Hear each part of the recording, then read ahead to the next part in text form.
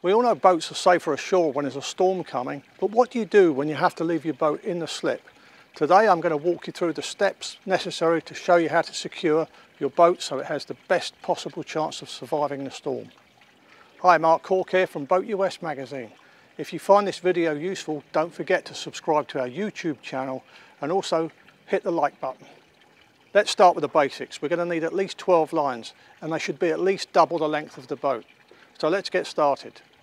The lines need to be in excellent condition. I've just bought these, these are brand new. This is three strand nylon, which has got lots of stretch, ideal for tying up the boat when there's a hurricane coming.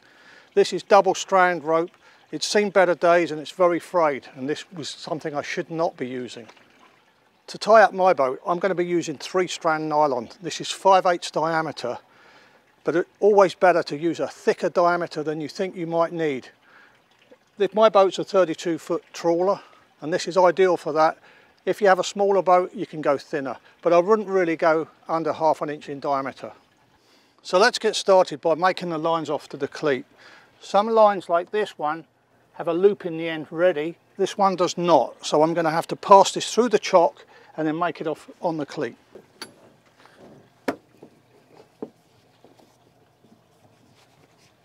And then I've got a helper, so I'm going to pass this ashore.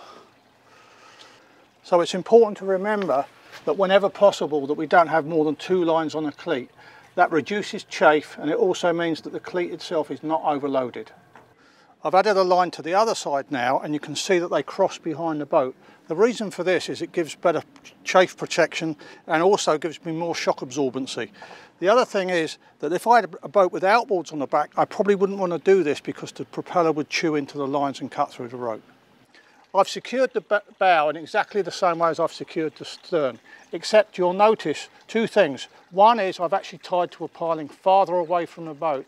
That gives me a chance to allow for the storm surge as the boat rises and also gives me more shock absorbency. The other thing that you'll notice is that I haven't crossed the lines at the bow, I've actually run straight from the chock straight to the piling here. If I'd crossed them over, they would be round the front of the boat and actually the anchor would cut into them and they wouldn't last very long at all. So I've just finished tying off the boat now. We've got two lines got, and they're just different colours are actually both the same. The reason for that is if one chafes through, we'll make sure that we have a backup so the boat isn't free.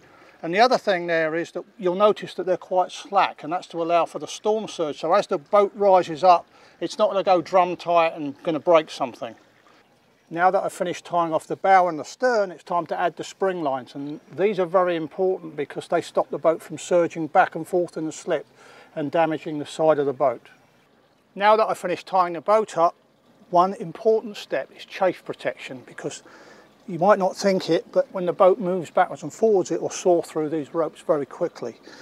There's a couple of ways of doing this, and one I've used some old jeans here, old blue jeans. They will need to be whipped to the line to hold it in place with some whipping twine. But much more convenient is these ready bought ones which have a hook and loop system and they grip the line and that's all you need to do and it holds it in place and that'll protect the line now. Now that I've secured the boat, I'm pretty confident it's not going to move and it's going to be as safe as I can possibly make it for the coming storm. Don't forget to check out our hurricane playlist on YouTube and also go to a boatus.com website where you'll find a hurricane preparation and resource guide.